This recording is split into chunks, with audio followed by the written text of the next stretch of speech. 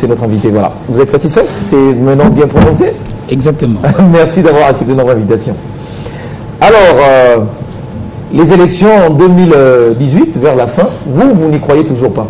Alors que celui qui vous a précédé, il se prépare, le, M- la, la MP, le- la MP se prépare, à la fin vous serez surpris. Le PPRD ou la MP va présenter un candidat et qui sera élu pour les cinq prochaines années. Vous serez surpris et la machine va continuer. Une machine que vous ne saurez pas arrêter. Laissez-moi en rire. Dire que le PPRD va présenter un candidat et il est élu en République démocratique du Congo. Non, là nous parlons alors de notre pays. Le PPRD, la MP a eu à gérer et la cote, elle est largement négative. Donc il ne faut même pas croire qu'ils peuvent se faire élire ou alors relire. Peut-être par euh, la magie de la machine à voter dont je peux vous tranquilliser. L'UNC, l'opposition, le peuple congolais, l'opinion dans son ensemble, national et international, nous disons nous sommes contre cette machine à voler. Nous sommes contre cette machine à tricher. Nous sommes contre cette machine.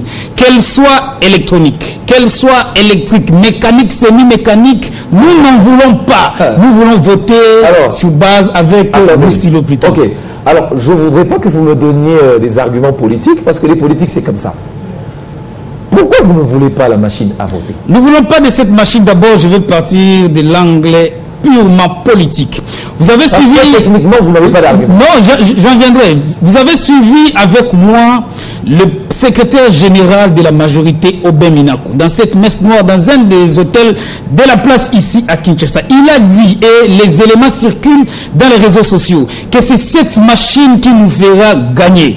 Vous voyez le président Vital Kamerhe, vous voyez le peuple congolais accepter une machine dont Minako a déjà dit que c'est cette machine qui les fera gagner. Nous disons deuxième élément, toujours dans ses propos, euh, Minaku a féliciter Nanga à les plébisciter pour avoir bluffé tout le monde que la machine à voter était différente du vote électronique. Nous disons, cette machine-là, nous n'en voulons pas. Partons maintenant des faits économiques et même financiers et même techniques. La machine à voter a été justifiée par trois raisons selon les couples MP, parce qu'il n'y a que eux qui tiennent à cette machine. On a dit qu'avec cette machine, nous aurons à économiser de l'argent.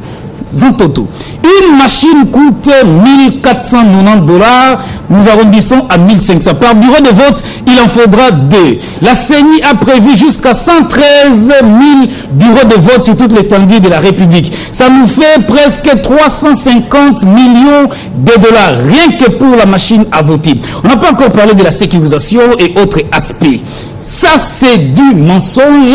Nous faire croire que cette bagatelle somme serait inférieure à l'impression des papiers bulletins qu'on imprime en Afrique du Sud ou en Chine. Ça, c'est nous prendre pour vraiment des enfants, je ne sais quel type d'enfants. Deuxième raison, on nous a dit que cette machine était importante parce qu'elle allait nous aider à aller un peu plus rapidement. Le bulletin qu'on utilisait, qu'on a utilisé en 2005, euh, en 2006 et en 2011, c'était des bulletins cahiers, des bulletins livres atteignant même la taille des rames de papier duplicataire.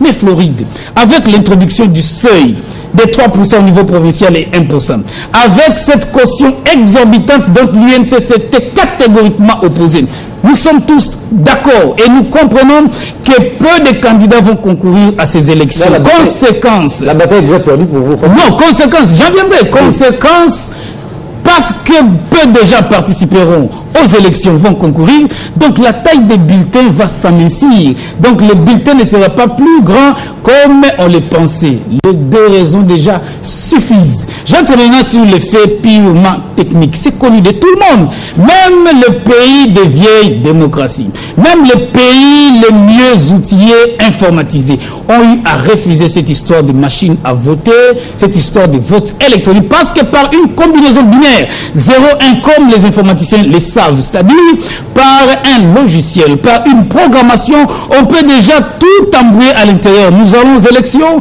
vous votez Sele Mbalafuna, mais c'est plutôt Florine Zantoto, donc tout le monde a eu déjà à venir, mais c'est lui qui obtiendra des voix, tout simplement parce que ça a été conçu, ça a été commandé unilatéralement que nous, l'opposition, nous puissions donner notre accord. Nous disons à Nanga, il est là pour apaiser les gens, pas pour surchauffer encore les esprits de paisibles Congolais, déjà avec la vie dont on ne sait pas tenir les deux bouts du monde, qu'on puisse nous amener des histoires tendant à énerver. Il y a un cadre de concertation.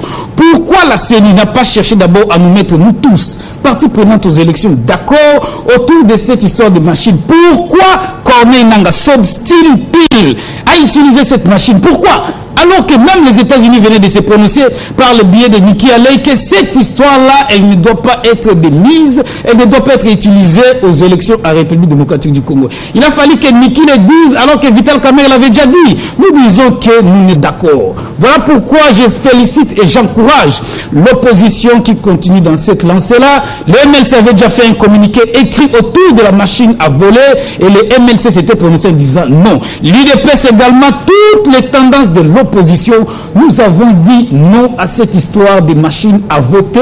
Et pour cela, nous sommes très sérieux. Nous donnerons même, nous-mêmes, nous donnerons, nous sacrifierons pour que nous puissions aller aux élections avec les mêmes chances, soit de gagner, soit de perdre, parce que nous ne voyons pas dans quelle circonscription électorale on va voter un candidat de la MP. Ok. Alors, du calme. Ok? Euh, Cette machine-là, c'est pas la CENI qui l'a qui l'a inventé, ce sont les Blancs qui l'ont inventé. Est-ce qu'au sein de vos partis, vous n'avez pas des, spécialistes en informatique qui peuvent contourner cela? Soyez des observateurs pour voir comment ces gens-là vont, vont tricher. Comme ça, vous allez le dénoncer. Vous le dénoncez alors que le jeu n'a même pas encore commencé. C'est vous qui dites que les jeux n'ont même pas encore commencé. Quand Corneille Nanga, je vous donne un autre exemple, Oui. lui-même passe dans les médias et dit qu'on a eu à commander des matériels pour, euh, pour faciliter à ce que les gens soient en contact avec cette machine à voler. Il dit qu'on aura à consommer, plutôt à utiliser 200 machines. Lui-même, dans ses prévisions, il nous dit que jusqu'au 23 décembre 2017, 2000 euh, plutôt 18, c'est-à-dire au moment du vote, il n'y aura que 80% des Congolais, des votants, 80% de ceux qui doivent voter, qui seront en contact, qui seront en contact avec la machine à voter en termes de pédagogie pour savoir comment cela fonctionne. 80%. J'aimerais savoir, les 20% restants n'ont-ils pas droit eux aussi d'être formés et informés autour de cette machine à voter? Pire que ça, nous connaissons la mollesse et la lenteur qui a toujours concrétisé le Congolais, mais encore la CENI. Quand elle prévoit que 80% seulement accéderont à cette machine, dans nos prévisions, nous comprenons que le max de max sera seulement 50 ou 60% des électeurs qui vont, euh, qui vont palper cette machine. J'aimerais comprendre pourquoi aller dans un schéma qui prête à confusion pendant que tous nous ne serons pas en contact avec cette machine. Nanga et la MP seuls savent le bien fondé de cette machine. Les seuls bien fondés de cette machine pour eux, c'est la tricherie. Ils veulent tricher, sachant que Joseph Kabila a un bilan négatif, largement négatif, avec la MP, sachant que la réélection sera compliquée pour eux. Parce que si vous prenez les 60% Floride Zantoto, de ceux qui seront réellement formés autour de cette machine, en termes de proportion à l'Assemblée nationale, ça vous fait 300 députés ou 300 sièges sur 500. Maintenant, les 200 autres là, c'est dans les circonscriptions électorales de qui? Nous disons que ça, c'est vouloir prêter confusion et vouloir que les élections, au lieu de résoudre des problèmes, qu'elles nous créent encore des problèmes. Nous appelons Nanga au bon sens, au sens patriotique, et nous nous disons que la République n'a pas beaucoup d'argent, qu'il ne puisse pas nous lancer dans des dépenses exorbitantes. Nous lui disons qu'il faut préserver le peu de moyens financiers que nous avons, qu'il ne puisse plus continuer avec la commande de ces machines à tricher. Alors, euh, docteur, docteur Célé ou euh, monsieur le porte-parole adjoint, si le, la MP veut tricher, la MP peut aussi tricher par des moyens euh, traditionnels. Parce que On, dans... on- on peut tricher soit avec la machine à voter, soit sans cela. Parce que dans votre logique, dans la logique de MP, c'est la tricherie. Qu'ils aient alors triché avec les stylos. Nous ne voulons pas de cette machine qui va multiplier les voix au profit des candidats qui ne seront pas. Et vous qu'ils trichent avec la, la, la, Parce que dans votre logique, bien dans leur logique. Oui, parce que dans leur logique, c'est la triche. Nous disons qu'ils aillent alors chercher à tricher par les stylos.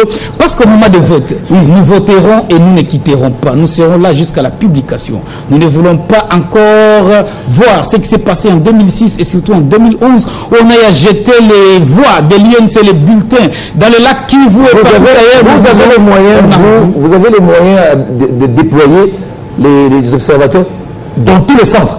Au début, vous m'avez posé la question si nous étions prêts à affronter les élections. L'Union pour la nation congolaise est prête à aller aux élections avec son président Vital Kamerhe. Le peuple congolais n'attend rien d'autre que les élections dans pour sanctionner dans le négativement Joseph Kabila et son candidat. Dans le Bas-Congo, vous allez observer les élections Congo. Nous étions dans le Bas-Congo. Vous nous avez vu les images. L'UNC est un parti national. Nous sommes implantés dans toutes les circonscriptions. Et là où nous serons dans une proportion faible, l'UNC aura et a déjà des alliés. Donc vous pouvez vous tranquilliser, nous aurons des témoins à tous les niveaux. Nous aurons des candidats aussi à tous les niveaux, commençant par la présidentielle jusqu'au niveau provincial et même local quand ça sera le temps. D'accord. Alors imaginez maintenant que euh, euh, la CENI rejette la machine à voter. Vous irez aux élections alors Nous irons aux élections à la date du 23 décembre 2018. Sans Joseph Kabila comme candidat à sa propre succession et sans la machine à voter. Pour ces deux problèmes-là, nous disons que nous serons chaque jour dans la rue avec les laïcs catholiques, comme vous le savez très bien. D'accord. Alors, euh, et si jamais euh, la CENI s'obstinait de continuer jusqu'à la fin Corneille Nanga portera devant l'histoire et devant tout le monde. Ce sera le passé. Le, le, le, les élections seront déjà organisées, vous allez crier après. Zantote, vous pouvez compter sur le peuple congolais qui n'en veut pas. Vous pouvez compter même sur la communauté internationale qui nous a soufflé encore ce matin, qui a rendu publiquement sa position par Miki Alei que cette machine, c'est une machine à tricher. Le peuple ne se fera pas berner ou bercer par la majorité qui veut rester à tout prix au pouvoir. Ok. Euh, mais j'ai comme l'impression vraiment que vous serez surpris. Non, c'est plutôt la CENI et la MP qui sera surpris parce que face à la détermination de la population, du peuple congolais. L'histoire nous renseigne qu'aucun régime n'a résisté. Voilà pourquoi nous disons à Joseph Kabila, président de la République, parce que c'est de lui qu'il s'agira. Jean-Pierre Bemba est à la haie aujourd'hui, pas parce que de sa main il a eu à tirer ou à, euh, plutôt à gérer la détente, la gâchette, mais parce que ces militaires étaient peut-être en Afrique du Sud. On ne l'a pas encore condamné. Nous disons à Joseph Kabila qui est le garant de bon fonctionnement des institutions. Un. Deux, c'est lui le commandant suprême des forces armées de la République. Si les répressions sanglantes continuent, tôt ou tard, il répondra devant l'histoire. C'est à lui de choisir par quelle voie il voudra quitter le pouvoir. S'il veut s'obstiner, la voie, elle est connue de tous. Ceux qui l'applaudissent aujourd'hui, ils ont été mobutistes, aujourd'hui kabilistes. Mais parce qu'ils sont intelligents, Oui, je crains que demain ils ne deviennent On va finir, on va finir, on va finir avec cette dernière question. Euh, au sein de la CENI, vous, vous avez euh, un, un- un délégué, non? Voilà pourquoi nous avons des informations palpables pour dire non à la machine à voter. Ah, vo- Votre délégué qui est là, il n'est pas d'accord. C'est l'union pour la nation congolaise, le peuple congolais, l'opinion nationale et même internationale qui est contre la machine Mais pourquoi vous le laissez, à voter. pourquoi vous le laissez là-bas? Mais c'est pour qu'il nous donne des informations crédibles et fiables. Tout ce que je débute ici, Alors, ce ne sont pas des inepties. Si c'est comme ça, il fallait aussi laisser le ministre de budget dans le gouvernement pour qu'il vous donne les informations. Le ministre des budgets, ça c'est un dossier déjà dépassé. Il n'est plus de l'autre. C'est pareil. Je ne parlerai pas de lui sur ce plateau. Il a déjà son parti politique qui est en train de fonctionner. Nous lui souhaitons bon vent. Euh, vous- le 25, vous serez dans la rue Nous serons dans la rue le dimanche 25 février. Le président Vital Kamerhe, les cadres, les militants de l'UNC, de l'opposition, le peuple congolais dans son ensemble, dans toutes les 4700 paroisses de l'église catholique et CVB, nous serons tous dans la Mais rue pour réclamer Les marches sont interdites dans la ville. Les marches ne sont pas interdites, c'est pas en violation de la Constitution. Nous disons à tous les gouverneurs de ne pas suivre ces schémas-là, parce que la Constitution nous demande d'informer. Pas de problème. Mais nous aussi, nous sommes déterminés. Les laïcs catholiques sont déterminés. Nous avons relayé leur message et nous serons Vous serez- pour vous serez- la route à la dictature. Vous serez encerclé dans, dans, dans les enclos de, de- de la paroisse. Je pense, je je pense qu'il ne pas- là. Je pense qu'ils ne La pas l'ordre. Vous parlez de la police, mais nous, nous voyons des hommes cagoulés. Nous voyons des hommes surarmés tirant sur des paisibles chrétiens et une population qui est non armée. Voilà pourquoi nous appelons à la sagesse du président de la République. Parce qu'au finish, ça ne sera pas les gouverneurs. J'aimerais encore lui dire ce que Charles Taylor a dit au président Vital Kamere à la haie. Vital Kamere, quand tu seras président de la République, fais trop attention. Aujourd'hui, moi, Taylor, je suis en prison. Mon premier ministre n'est pas là. Le numéro un de la justice, je ne sais encore quelle autre institution n'est pas là. Nous disons à Joseph Kabila, nous avons besoin d'un ancien président de la République en vie et surtout en liberté de ces mouvements pour voir comment Vital Kamere va transformer le Congo de demain. Merci beaucoup. Merci beaucoup. Merci euh, encore des questions, mais je suis obligé C'est moi